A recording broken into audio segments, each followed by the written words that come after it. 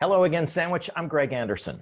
You will have a brand new state representative at the end of this year. Do you know who you're going to vote for? Well, you have a choice of three, and one of them is going to be speaking with me today. His name is Steve Xiarhos. He is the former deputy police chief in the town of Yarmouth. He wants your vote. Let's find out why. That's next on Meet the Candidates.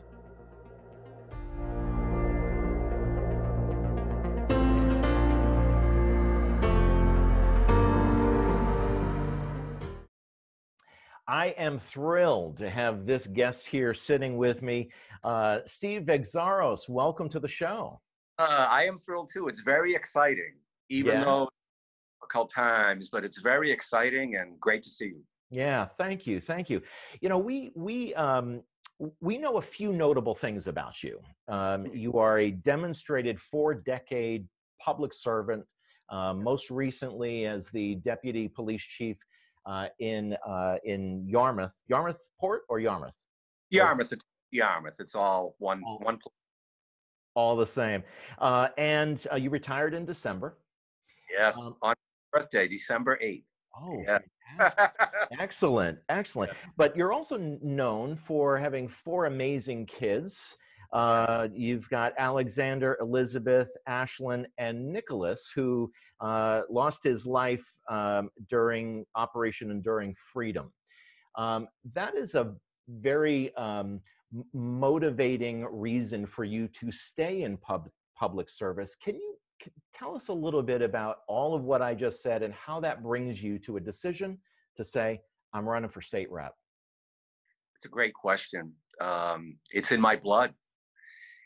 40 years of serving the public. Um, it's amazing that it, you know, it's been 40 years, but I loved every second. And it was hard to leave. It's hard to leave a job that you love. But the passion is this to continue to make a difference for everybody, you know, in a larger way. You know, the YPD, you know, Yarmouth PD, that's that's my family. And uh they're in great shape. We we we have a great plan, you know. So I knew they were in great shape, and uh, and I knew that the calling was to serve on a on a bigger basis. So that service of 40 years is very powerful, and you meet a lot of people, you see a lot of things, and you help a lot of people. And I think that that that's my passion. And then when you lose a son, you know, when you lose a child, you know, especially in war, uh, it's very difficult and but you can use that to help others you know so we dedicate our lives to helping others that's what we did and will do and it comes in um, handy i guess in many ways when you when you suffer a loss and you overcome it the best you can as a family there's so much uh, difficult times out there in the world Yeah. and you we kicked this off. We had no idea about the COVID crisis, you know. Let me ask uh, you about that. You're running a campaign during Yeah. a pandemic. What does that look like from your perspective? It's it's different, but for me, you know, I'm not a politician, so we've never done this. I'm a public servant, so in a way, you know, maybe somehow it's it's meant to be because typically a campaign at this point you'd be knocking on doors and going to events and shaking hands and raising money and all the things that a typical campaign does but you can't right now you know? We don't want to go to people's homes. We i don't want to ask too many people for money of course in these difficult times to help with the campaign of course. But i do have the passion to serve. So even though the campaign is still there it's kind of uh, doing different ways of, of uh, campaigning like this like zoom Yeah. meeting like Yeah. that what i've been doing is volunteering you know to help veterans and and uh, children you know feeding basically veterans and, and children in the school every day so Yeah. in a way taking the place of the Yeah, Steve, let me ask you this. You note in your um, campaign collateral that you will be a full time state Yes. representative. I- I understand what that means, and I'm sure our, our viewers do as well, but why is that significant to you? Why are you making note of that? That's a great question. It'll be a full time job, even though apparently it's a part time job to, to many people. Uh, Many of the reps uh, have other jobs and they kind of do this as well. But for me, it will be a full time job and uh, mission in a way to to continue to keep serving like we talked about in a different way use all my experience of, of helping people and protecting people. That's a big part of my uh, mission in, in life is not only helping but protecting. That comes naturally. And you know uh, making our community and our commonwealth safer. Mm-hmm. we can do things to make it safer. And when you talk about the opioid crisis you know and you see all those families struggling um, i know ways we can we can make a difference Give me some examples of that. I, I do want to talk about that. I mean, I'm I'm sitting here in Sandwich. Um, eh, eh, I mean, the the Cape, um, the opioid is, issue. Talk about um, as, as from the police perspective. I totally understand where you have been coming from, but you're going to shift gears, but still attack that issue. How will you do that? Yeah, you know, we've experts have looked at this for so many years. You know, but when I look at it, it's not from uh, necessarily from reading uh, reports or studies. Of course, we do that, but I've lived it. So I've been to people who have died. I've seen them die. I've saved, helped save lives. Mm. I've seen the parents uh, suffering and the families, and we started learn to cope. So that's one way. You know, you have a group of people that come together every Tuesday at the police station who have either lost a child or have someone struggling. Mm. And when we started that, people said, "Oh my God, that no one would ever come to the police station to do that." Mm. And we said, "Yes, they would, because we're all in this together." So there is that law enforcement background, uh, but seeing the sacrifices made by families, we've had families tell us the best sleep they've had is when their child was in custody. Oh wow!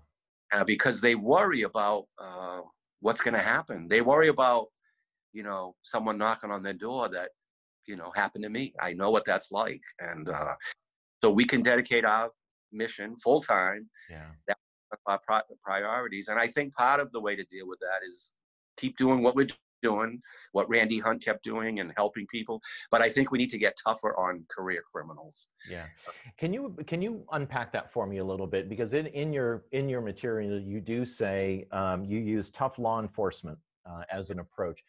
Give me an example of what tough law enforcement looks like in this context.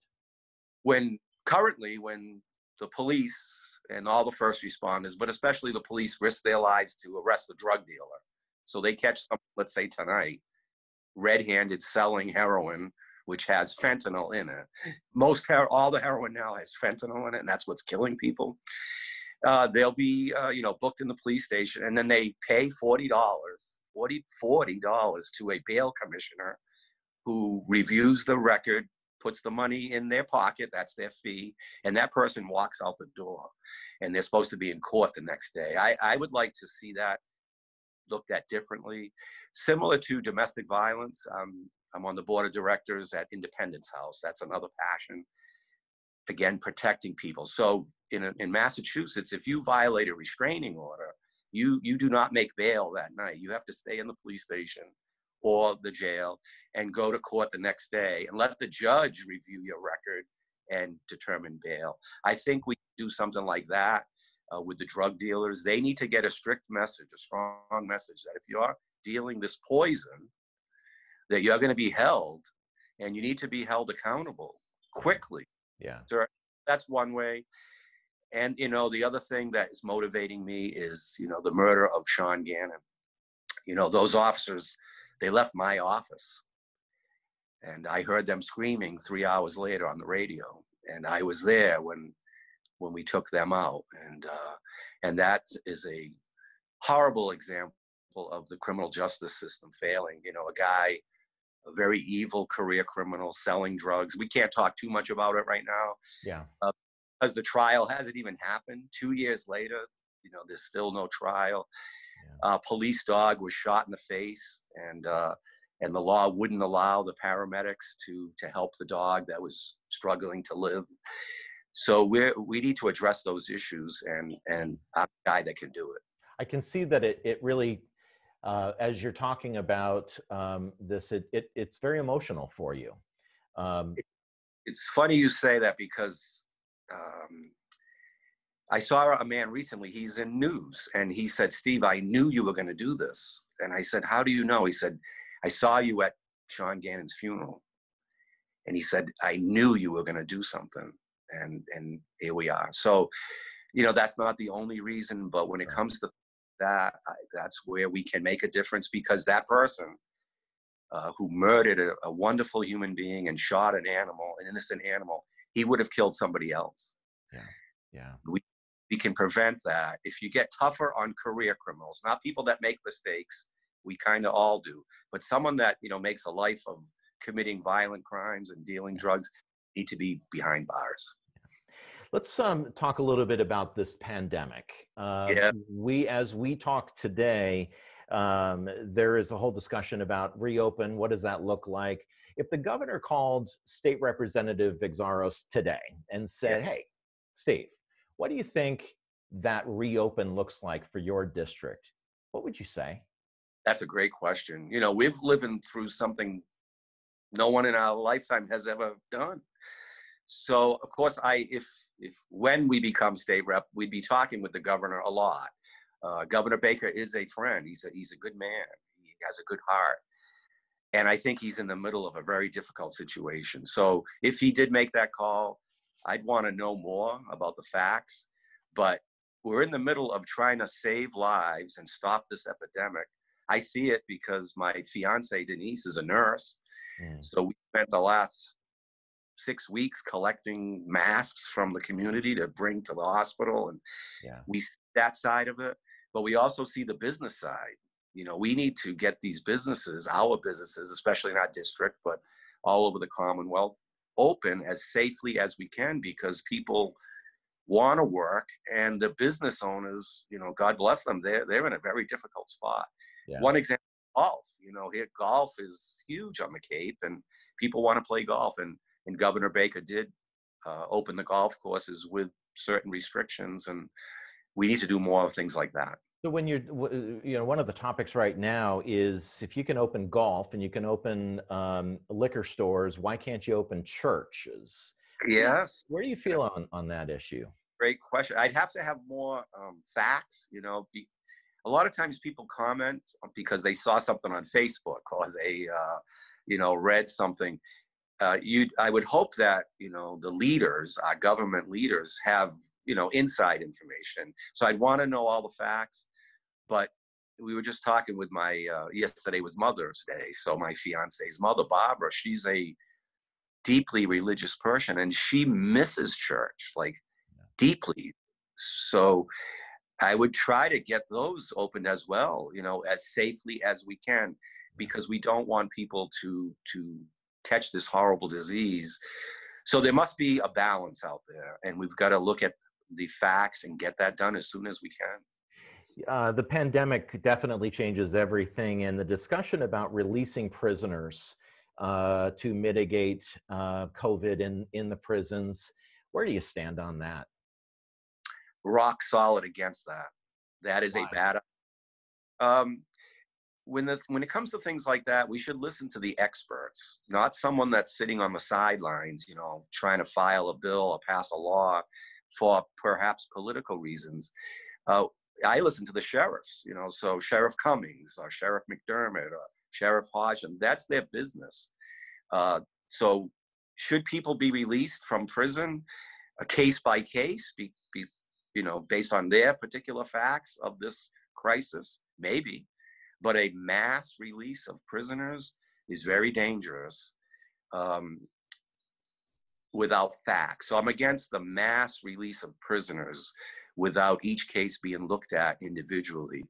And, and we know that when you do that, what that does, it gives the career criminals, again, not someone that made a mistake, but a career, you know, evil person. There are, you know, a handful of people like that. It gives them and those drug dealers and batterers kind of a message that they can get away with it and they're back on the street and they'll recommit crimes. That's the fear of, of, professionals like myself. We don't want those career criminals back on the streets. Remember, they're convicted of their crimes, and now they're back because of some, you know, allegation of a, of a possible disease. They need to be looked at individually. So I'm again. You are running as a Republican.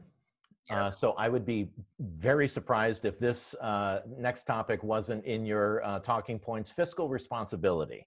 Yes. Um, where are taxpayers in the fifth Barnstable district uh, wounded or challenged the most from a fiscal perspective? Great question. That you know, when I uh, go out and well, before all this happened, you know, one of my um, best parts of campaigning was talking to people. So I would, you know, go to events, go to the stores, go to anywhere you could talk to people in Sandwich. You'd sit at the uh, water fountain downtown and ask people, "What are your, you know, what are your number top three concerns?" Many of them said taxes. So what we, I think we should look at is every dollar that goes over that bridge, you know, from our district should come back somehow to to be fiscal, fiscally responsible and do the right thing.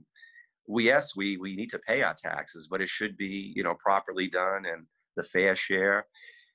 How I see it also is you know as a police officer and leader, you know we ran a seven million dollar business. You know uh, our budget at YPD was around seven million dollars.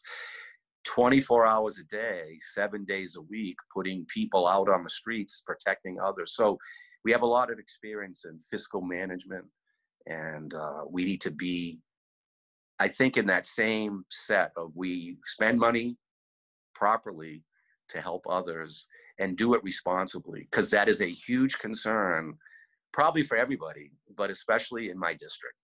Well, I would I would look at this also as uh, there's fit, being fiscally responsible. There is being um, a good servant of making sure that taxpayers are um, are on the on the right side of all financial issues. But then you've got the pandemic.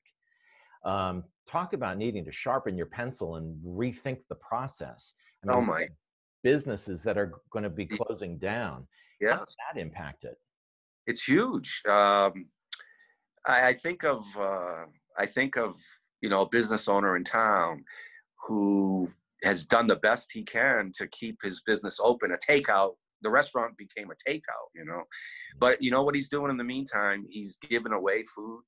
He's feeding the nurses. He's he did a, uh, a fundraiser the other day where uh, you know people bought food and, and enjoyed the takeout food, but he gave some of that money to the sandwich food pantry. So I think government has a limited role, obviously, like to be fiscally responsible, help others, but it doesn't always have to be government. There's people out there that can help others, and in this crisis, they're doing the best they can to stay alive and active. And uh, it goes back to your point earlier. We need to address this thing as soon as we can to get our owners and their employees back to doing what they do and even ourselves. We people enjoy going out and seeing others and helping others. So that's what we focus on as well. You know when i when i look at the economic impact uh, and i look at our cultural impact our lifestyle change yeah.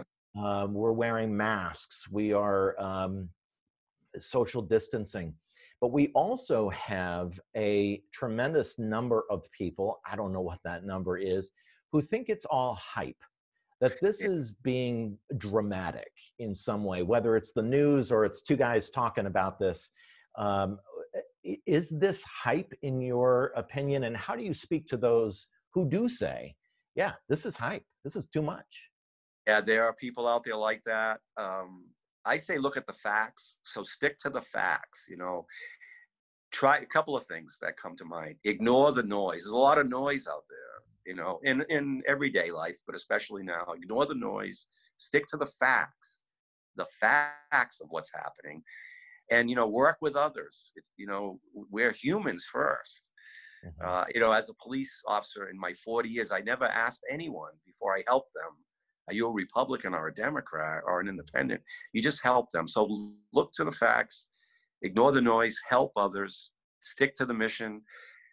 And again you know when you have a fiance that's on the front lines i mean that's inside she saw it.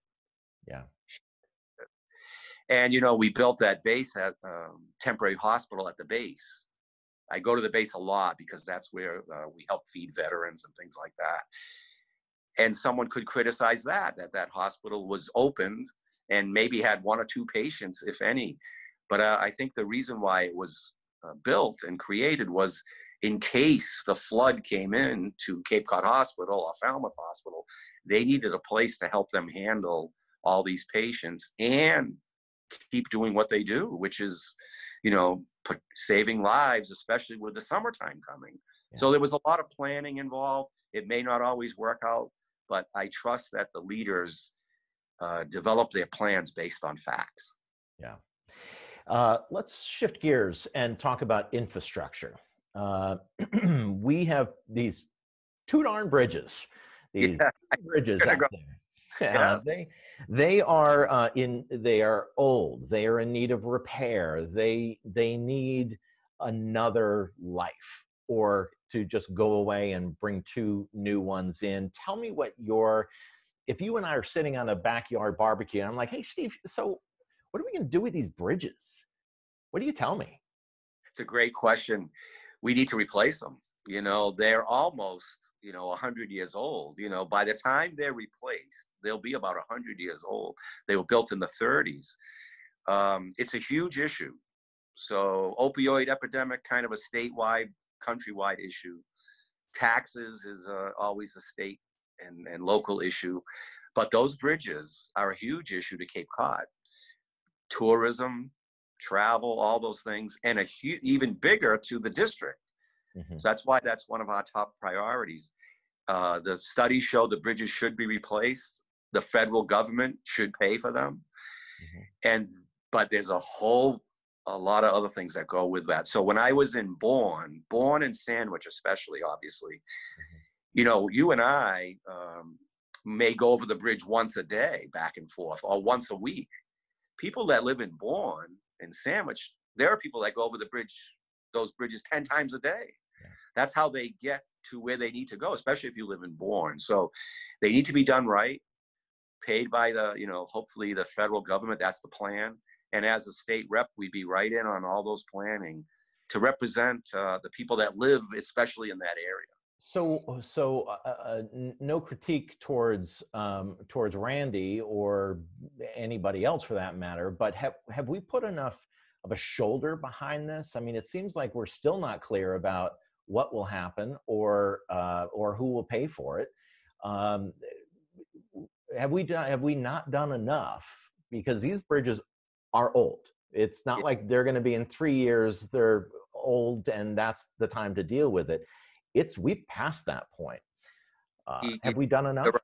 Yeah, Randy Hunt was right on it. Yeah, Randy is a great guy, and he, you know, I wouldn't be talking to you. You know, I I would still be probably, you know, a police officer and serving. But when Randy decided not to run, there was a chance to now take his place, hopefully, and carry on his mission.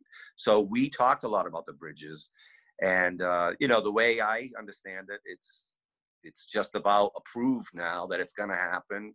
Now it's where and and keep in mind it's going to take a long time mm. and it's going to affect those communities, especially the Bourne residents, yeah. on day to day life for maybe five years or more. So, I think we, I think they've done a lot. It's not easy, but those bridges need to be uh, looked at and replaced. Not only that they're old, but you know when you look at it um, back in the day it was probably pretty obviously modern but right now they're, they're really too thin you know and it's hard to get over them when there's four lanes and everybody's so close and the right. new plan. So I would support, you know, the replacement and making sure it's done right. Uh, infrastructure beyond the bridges in the fifth district. What do we need to pay attention to? The roadways, you know, the environment. You know, Route 6A is a state road. It runs right through basically all of our uh, the main, obviously, Sandwich and and parts of Bourne. The canal, that's an issue. Um, so anything to do with infrastructure, even if it's you know technology. You know, there are people with internet and and different. You know, everybody has the internet, but there's different ways of of uh, providing that. So, I'd be interested in all of those things. making sure it's done the best that we can. There's a lot of companies that want to help out and trust the experts, but be part of part of all those discussions. You uh, have you are you have never served in the military, but you are uh, very uh, very much demonstrated your commitment to men and women in in service. For those veterans that are watching you today, young and old, why should they vote for you? I love my country, and um, I truly thank them for their service to our country. And this comes from me. You have a good point. You don't have to be a veteran to love your country and love veterans. My dad is a veteran. Um, he also ser- worked and served at Otis Air Force Base back in the day. So when I was a little boy, I would come to Cape Cod from New Bedford and visit him at his job at the base. You know, it was Otis Air Force Base in those days. Yeah. And his dad, my grandfather, is a World War One American soldier. I'm named after him. And yesterday, for Mother's Day, I was in New Bedford visiting my parents who have passed. And I went over and I, you know, I saw my grandfather's grave. You know, he died uh, before I was born. Uh, an American soldier, World War One. So that passion of love of veterans and active duty military was always there. And then my son, you know, Nicholas enlisted. Uh, he fought in Iraq. Uh, he fought in Afghanistan. And, you know, he came home in a flag draped coffin. So. Uh, At the age of 21. 21. I, I gave him a big hug on May 15th, 2009. So this week um, is May 15th on Friday um, I told him what I told him, and and I hoped that he would come home, and he never did. I've never seen him since that day. I just saw the coffin. So when when we talk about veterans and military and and first responders and nurses and teachers and anyone that really serves others, you know, that's a huge passion passion of mine. You know, my son uh, Jack, uh, he's a junior at UNH. He's 21, and your story uh, resonates with me. I, I, I, can't imagine uh, that knock on the door. Um, uh, let me uh, ask you about what you are hearing from others. You have your campaign talking points. Uh, what are you hearing from people that's kind of off script? You know, what do you hear at Stop and Shop when they say, hey, you know what? If you win, can you can you deal with this or ta- tackle that for me? What do you hear from people? Yeah, I hear so much support. Like yesterday, I stood out for the first time, first time ever holding my sign, you know, in front of the sandwich disposal area. That was pretty special because uh, I've never done it. I'm not a career politician. I'm a career lifetime public servant. So to stand there was special, and people beat the horns. They, they, you know, a lot of support and when I see them in public, everybody kind of says we just can't wait. Like, you know, there's people that a lot of people say, well, I wish I could vote for you because I know, you know, we kind of know a lot of people because of public service. And like you mentioned, when you become a Gold Star father, mm. you know, that put my family in another world. You know, I've met and spoke with President Obama and Mrs. Obama in private for quite a period of time and I've also met and spoke with President Trump and um, Mrs. Trump. That's pretty special when you get to talk to two serving presidents. Mm-hmm. And it's not about politics, really. It's about um, being a dad.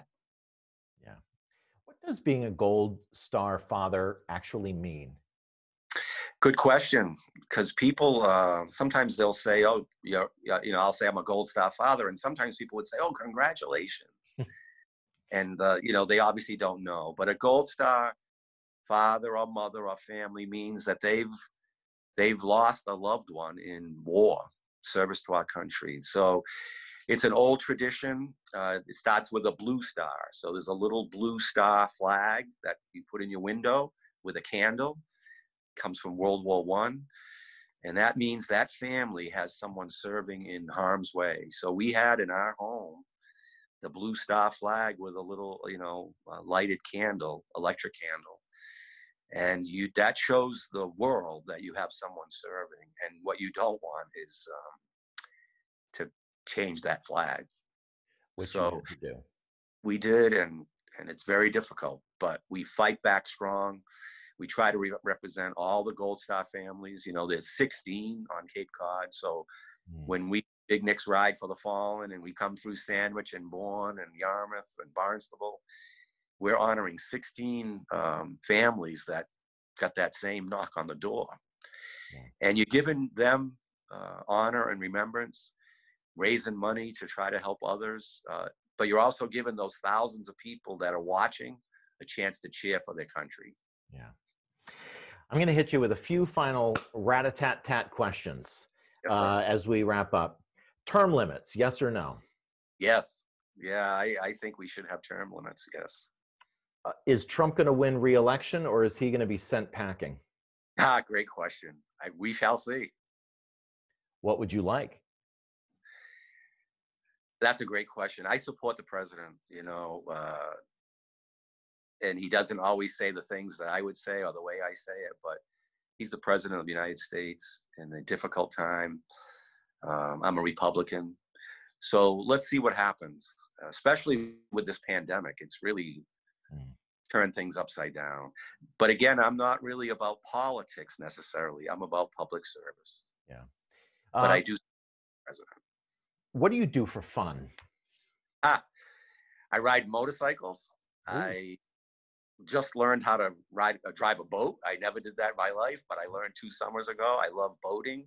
I love running. We have a, a team, Big Nick. We we put on our Nick shirts and we run road races. I've run two marathons and hundreds of road races. You can always find me because I'm the guy carrying the flag. I carry the American flag when I run, and I'm always at the back because I'm so slow. uh, hey, this is um, this has really uh, been a pleasure talking with you, Steve. Um, I, I wish you good luck. Any final comments you want to offer before we uh, before we wrap up? Yeah, just stay strong out there. I'm not sure when you'll be seeing this, but stay strong. Be proud. Be proud to be an American. Help others. Uh, and I ask you to vote for me. You know, I, I have the passion to keep serving, and um, we'll do it full time. And we know how to solve problems, and uh, we will take care of everything we can in our district and in our Commonwealth and our country. Wonderful, excellent. Uh, Steve Xiarhos, uh, thank you so much for joining me. I, I really appreciate it. I'm sure we will uh, talk at some point. Uh, Yeah. The Cape is a small place, uh, Yeah. But I, I appreciate your time uh, and and, uh, and your message today. Thank you very much. Thank you, sir. I also want to thank uh, the program's executive producer, Paula Johnson, her whole team. Normally, there are cameras around me and, and a studio and lights, but I'm sitting in my living room. So uh, that does not happen. But we work very hard to bring uh, messages of candidates, people that you are considering uh, for elections. Uh, we want to bring any perspective we can to help in your decision making. Um, I am Greg Anderson. I will see you next time. Thank you.